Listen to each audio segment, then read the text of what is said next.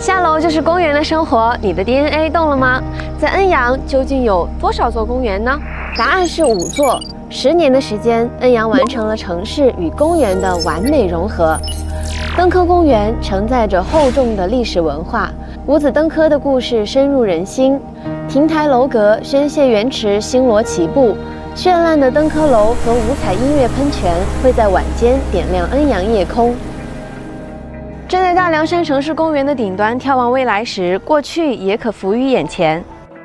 十年前，大凉山还只是大凉山，但在今天，它是运动健身的绝佳去处。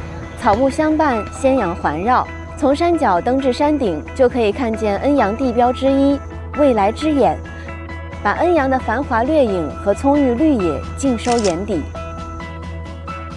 户外的有趣就是，你永远都不知道下一秒会遇见什么样的太阳和什么样的风。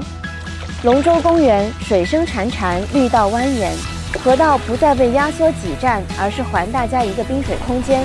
有龙舟赛事激荡起来的热烈，也有漫步水边沉淀下来的宁静。在这里，触手可及的闲适可以给你带来更多的时间和自由。码头公园集休闲娱乐于一体。曾经平平无奇的土地，早已摇身变为音乐畅想地。